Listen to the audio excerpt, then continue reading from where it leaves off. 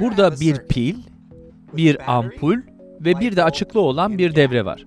Açıklığı bir metalle kapatırsam ışık yanar. Ama araya cam girerse ışık yanmaz.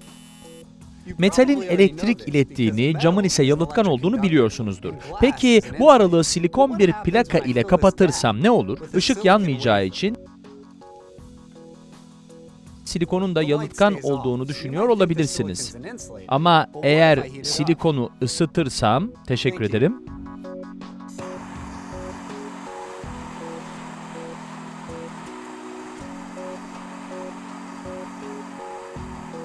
Işık yanar. Silikon oda sıcaklığında yalıtkan, ısındığında ise iletken olan bir maddedir. Bunlara yarı iletken maddeler diyoruz. Yani bunlar iletkenlikleri bulundukları ortama göre değişen maddelerdir. Bu özel yetenekleri sayesinde yarı iletkenler elektrikli aletler için muhteşem beyinler haline gelir. Örneğin transistör denilen küçük yarı iletken anahtar devreleri bilgisayarla çiplerinin kalpleridir ve işlem yapabilmelerini sağlarlar. Yarı iletkenler sayesinde elektronik aletler daha küçük, daha hızlı ve daha güvenilir hale geldiler. Peki yarı iletkenlerin iletip yalıtmalarına sebep olan şeyin ne olduğunu merak ediyor musunuz? Elektronlar tek bir atomda belirli enerji seviyelerinde bulunurlar. Birkaç atom bir araya geldiğinde de elektronlar bu atomlar arasında paylaşılır. Atomlar etkileşim içinde oldukları için enerji seviyeleri de değişir.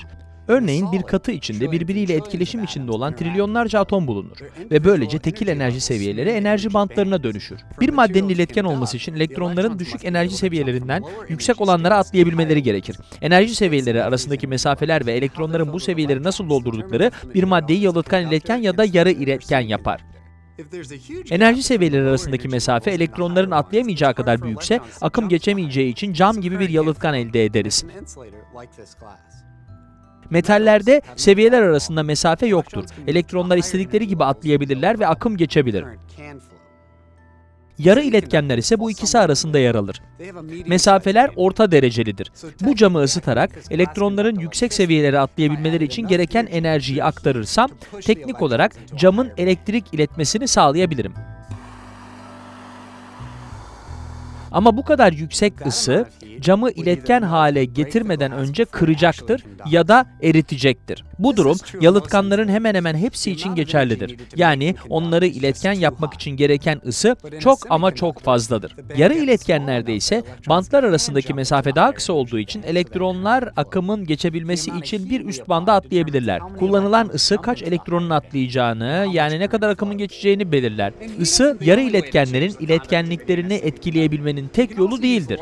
Işık elektrik akımı ve bilgisayarda olduğu gibi elektrik alanlarında da kullanılabilir. Az önce de söylediğim gibi bilgisayarların içinde yalıtkanlık ve iletkenlik arasında gelip giden ve transistör denilen yarı iletkenler vardır. Bilgisayarların elektrik alanlarını kullanmasının sebebi ise ısının yavaş olup çok fazla enerji yakmasıdır. Bu plakayı fotolitografi adı verilen bir yöntemle üzerine bir transistör devresi ekleyerek bir bilgisayar çipine dönüştürebiliriz. Burada yani foto odasında plakayı ışığa duyarlı bir malzeme ile kapatıp üzerine belirli bir deseni olan bir kalıptan geçen ışık yansıtıyoruz. Plakayı aynen bir fotoğraf gibi işlemden geçirdiğimizde ise geride devreye dönüşen bir desen kalır. Transistörleri aynı anda basmak, devreleri tekil parçalar için yapmaktan daha küçük ve masrafsız hale getirir.